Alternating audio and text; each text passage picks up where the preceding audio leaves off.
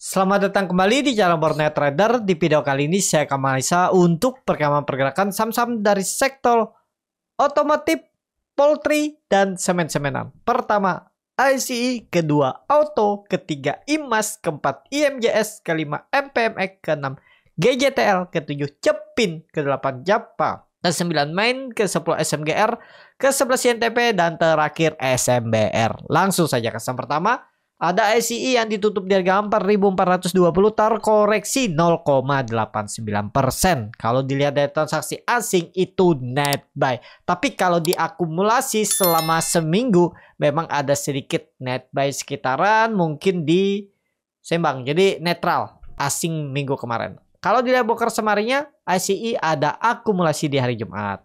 Langsung saja ke tekniknya kondisi sekarang masih mencoba berjuang untuk rebound. Kalau saya lihat sih belum ya, belum tentu turun.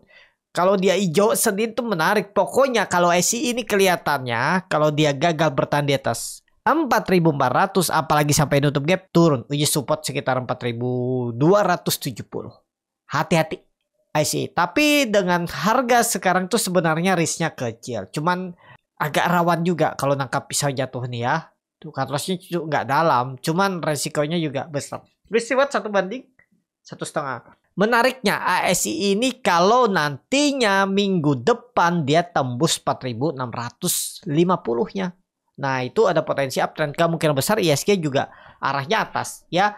Tapi sekarang kalau menurut saya lebih ke wait and see dulu. Jangan dulu dipaksa ya. Harganya nanggung. Lihat respon market dulu di hari Rabu minggu depan kalau mau beli IC. Itu aja. Kalau dilihat dari time frame weekly-nya minggu lalu candlenya tuh hammer. Koreksi volumenya lebih rendah dari volume minggu kemarin, minggu sebelumnya. Jadi momentumnya ya memang kalau dia tembus 4600 minggu depan. Kita lihat ya hari Rabu besok. Kalau tembus menarik untuk ICE. Itu aja. Lanjut. Ada Auto yang ditutup di harga 1820 terkoreksi 1,88%. Kalau dilihat dari transaksi asing net sell. Kalau dibakar semuanya auto didistribusi.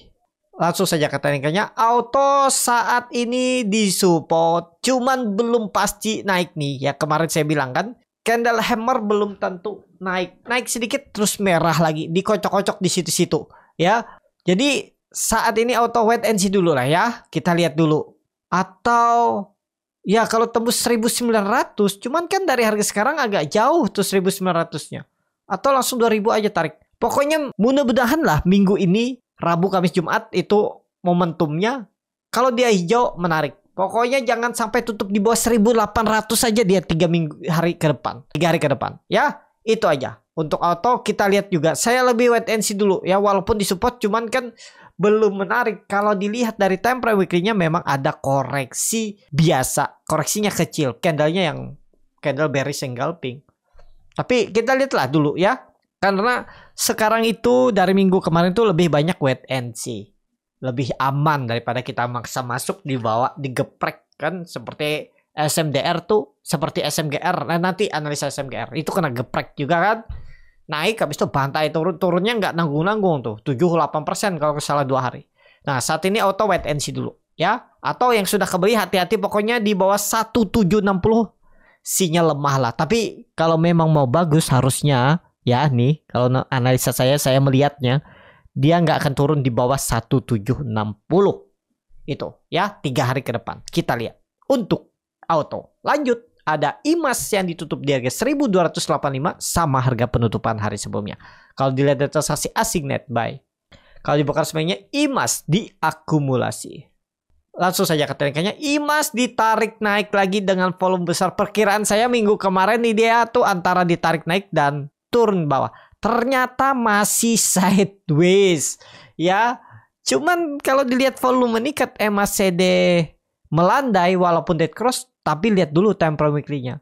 Waduh, dia membentuk lower low lower high. Minggu depan dulu ya. Kalau dia hijau mungkin naik ke atas berapa tuh? Ke atas 1330 ya ya. Nah, itu menarik kayaknya untuk ya. Kita lihat aja minggu depan. Kalau Rabu, Kamis, Jumat dia tembus 1300 tutup di atas itu menarik. 1330 sampai 1340. Targetnya ke mana? Kalau jalan ISG bullish 1500 ada peluang sampai akhir bulan. Tapi minggu depan dulu ya konfirmasinya tembus dulu 1330 1350 tiga hari ke depan harus di atas itu kalau memang mau ke 1500 mudah-mudahan untuk imas seperti itu lanjut ada IMJS yang ditutup di 162 terkoreksi 1,81 persen. Kalau dilihat data transaksi asing net sell. Kalau di broker semuanya IMJS didistribusi. Langsung saja ke teknikanya IMJS memang disupport. Cuman dia membentuk lower low dan tutupannya di harga terendahnya. Butuh konfirmasi minggu depan. Kita lihat dulu aja. Rabu seperti apa respon market ya untuk IMJS. Cuman kalau dilihat IMJS nih kemungkinan sih ada peluang rebound. Yaitu tadi lihat imasnya. Kalau imasnya rebound, IMJS akan ke trigger rebound juga. Kita lihat dulu ya. Kita lihat aja minggu depan ya untuk IMJS. Pokoknya kalau rebound tuh kayaknya menarik ya. Mudah-mudahan ISG rebound minggu depan. Itu aja untuk IMJS. Langsung saja ke selanjutnya ada MPMX yang ditutup DG 940 terkoreksi 1,05%. Kalau dilihat data transaksi asing net buy. Kalau dibuka semuanya MPMX didistribusi. Langsung saja ke teknikanya. Langsung saja ke teknikanya MPMX terus membentuk lower low. Kondisi sekarang kalau saya lihat sih ada peluang 880 900 kalau melihat historinya. Nih ya, kemungkinan besar loh ya. Mudah-mudahan sih nggak terlalu dalam lagi turunannya. Itu paling 6% 7% lagi ya kumpulin aja. Percaya aja dengan fundamentalnya MPMX. Ya, dan MPMX juga bagi dividen tuh rata-rata setiap tahun itu rata-rata 10%. Jadi kalaupun Bapak Ibu nabung di MPMX ini kemungkinan besar ya 10 tahun udah balik modal dividen dan apalagi kalau Bapak Ibu setiap bulan atau setiap tahun average down atau tambah cicil-cicil mungkin dapat capital gain. Cuman itu sekilas saja saya lihat ya, tapi secara teknikal kalau dilihat selama berapa tahun ya? Wah, dia dari 2016 sih sideways ya. Cuman low-nya sudah mulai naik nih. Nah, ini nih. Sekitaran 850 nih mudah-mudahan jadi double bottom dan sideways ke atas ya. Secara teknikal ya sideways dia 10 tahun itu sideways, tapi ya balik modal. Ya kalau Bapak Ibu average-nya mungkin di 600 800 nih ya udah aman-aman aja lah ya. Cuman ya seperti itulah. Mending kalau nggak sabaran jangan untuk MPMX. Tapi kalau Bapak Ibu percaya dengan Pak Sandiaga Uno, juga GCG-nya ya silahkan untuk MPMX ya cuman memang terlihat selama MPMX listing sideways. Belum ada uptrendnya. Ya dari semenjak IPO 2013 itu masih sideways dan belum mencapai puncak belum all time high. Mudah-mudahan lah tahun ini atau tahun depan ya. Kenapa? Karena dia sudah mulai ngangkat atas lagi sidewaysnya di atas. Mudah-mudahan ya kuncinya jangan jebol 840 itu aja. Untuk MPMX seperti itu. Lanjut. Ada GJTL yang ditutup di harga 1030 terkoreksi 2,83%. Kalau dilihat data transaksi asing net sell. Kalau dibongkar semuanya GJTL di distribusi. Langsung saja ketikanya GJTL kalau dilihat time frame bulanan koreksi wajar jebol nggak seribunya? Nah itu yang jadi pertanyaan saya juga nunggu nih. Mudah-mudahan sih jangan. Kalau melihat historinya, apalagi koreksinya tiap bulan tumpulnya mengecil, mudah-mudahan bertahan di atas seribu. Time frame weekly-nya kita lihat. Memang masih lower low dan ada pola head and shoulder. Ada peluang lanjut turun. Hati-hati seribu tuh bisa. Waduh dalam juga turunannya ya. Bisa ke 800 berarti ada potensi turun bisa 20% ini. Kalau pola import kalau pola head and shouldernya terjadi terkonfirmasi. Tuh tapi itu maksimal ya. Tinggal hitung-hitung fundamental. Tinggal lihat kalau Bapak Ibu mau average dan mau simpan dan percaya dengan fundamentalnya dan Pak LKH di dalamnya. Namanya investasi ya harus dihitung-hitung. Ya bisa aja average dan tapi kalau saya saya pakai stop loss ya kalau gagal bertahan di atas EMA 200-nya di atas 1000 ya saya out. Tapi belum masuk. Saya belum masuk. Nanti kita lihat dulu di open market Rabu, Kamis, Jumat untuk GJTL. Kalau saat ini wait and see dulu ya. Seperti itu aja untuk ML GJTL. Lanjut. Ada Cepin yang ditutup terkoreksi 3,92% ke harga 4.900 kalau dilihat data transaksi asing net sell. Kalau di broker semuanya Cevin di distribusi. Jebol 5.000 ya. Jadi ke mana arahnya itu ada neckline di 4.800. Kalau jebol itu ada double bisa 4.300 arahnya atau 4.400. Kalau saya saat ini wait and see.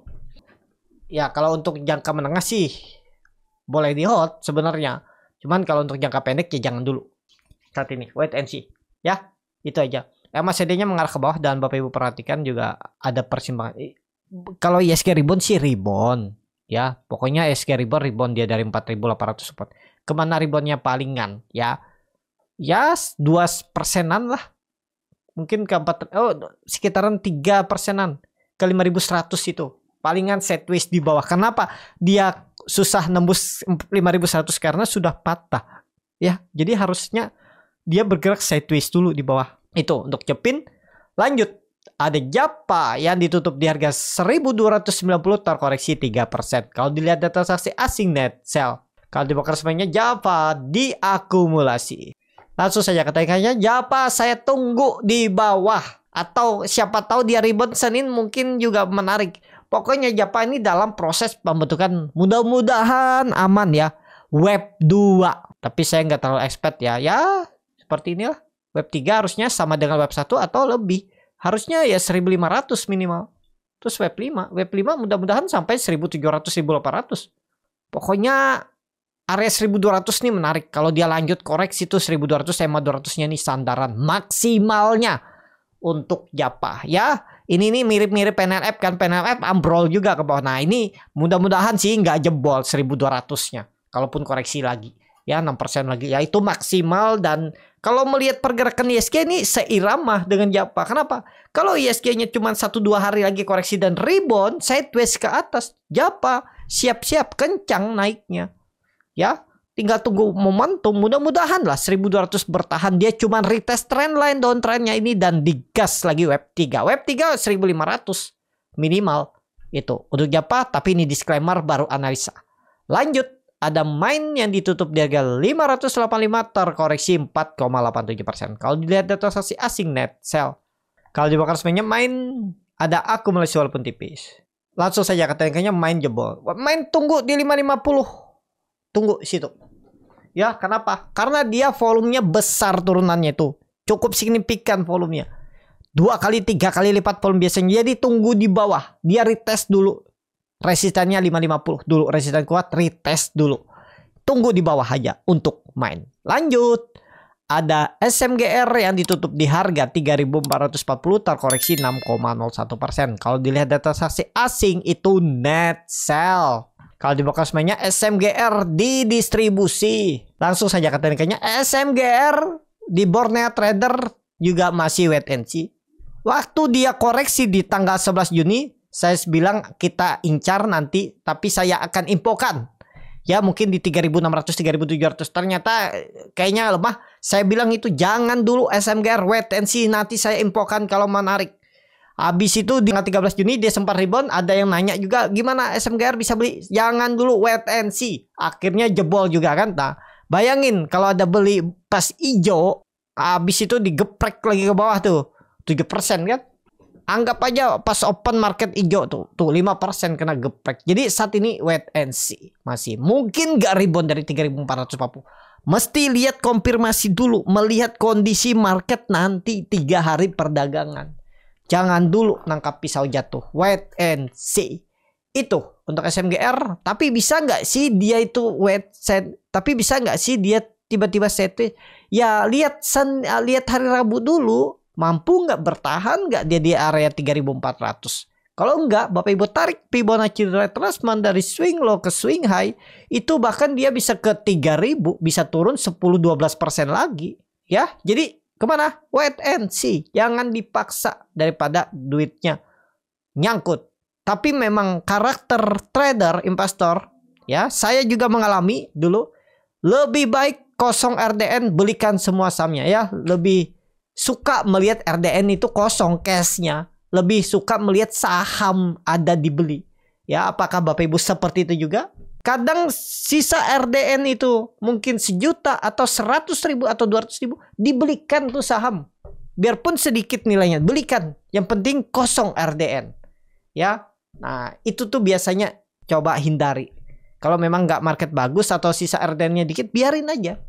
Maintain saham yang sudah dibeli ya itu untuk SMGR lebih ke wait and see walaupun disupport. Lanjut ada INTP yang ditutup di harga 7200 terkoreksi 2,7%. Kalau dilihat data transaksi asing net sell. Kalau di broker sebenarnya INTP ada akumulasi walaupun tipis. Langsung saja ke teknikal INTP bisa nggak mantul dari 7000? Mungkin mungkin kenapa? Itu dulu adalah neckline. Kita lihatlah. Mudah-mudahan bisa mantul. Cuman Bapak Ibu perhatikan. Ini ada candle 3 black crow bisa jadi rebound juga nih. Mudah-mudahan nggak sampai 7.200 ya. Ada peluang lah INTP ini bisa rebound. Itu ya kita lihat 7.200 bertahan nggak. Kalau melihat kondisi seperti ini sih, kalau saya lihat ada potensi untuk coba rebound. Dia lebih aman dari SMGR. SMGR tuh terlalu dalam turunannya. Tapi tiba-tiba kalau Rabu besok dibuang dari 7000 ya sama mirip dengan SMGR akan ke supportnya lagi 6200 untuk INTP. Itu aja. Lanjut saham terakhir ada SMBR yang ditutup di harga 204 terkoreksi 2,85%. Kalau dilihat data sasi asing net sell. Kalau di bawah semuanya SMBR didistribusi. Langsung saja ke tekniknya SMBR belum dulu walaupun koreksi belum kecil. Support sekarang tuh disupport. Kalaupun Bapak Ibu coba melatih skill, melatih untuk membangun sistem trading yang bagus boleh. Beli di support pun boleh. Yang penting plannya seperti apa. Ya, kalau dia mantul Rabu besok menarik tetap. Tetap arahnya 220 tuh ada. Tapi harus rebound ya. Jangan sampai membentuk lo baru di bawah 200 atau 199 198 toleransinya untuk SMBR. Itu aja. Cukup sampai di sini video kali ini. Terima kasih untuk Bapak Ibu dan teman-teman yang sudah menonton video ini sampai selesai. Apabila channel Borneo Trader ini bermanfaat dan bisa menjadi bahan pertimbangan Bapak Ibu dalam membeli menyimpan dan menjual sahamnya bisa klik tombol subscribe dan nyalakan lonceng notifikasi. Ada kritik, saran ataupun pertanyaan bisa langsung tinggalkan di kolom komentar. Bagi Bapak Ibu dan teman-teman yang baru belajar trading masih bingung memilih saham, bingung membuat trading plan bisa join trading bersama Borneo Trader. Nanti dipilihkan saham-sahamnya dan dibuatkan trading plannya beserta chatnya dan juga free konsultasi portfolio. Kalau tertarik DM Instagram Borneo Trader. Sampai ketemu, tetap semangat dan semoga bisa terus cuan.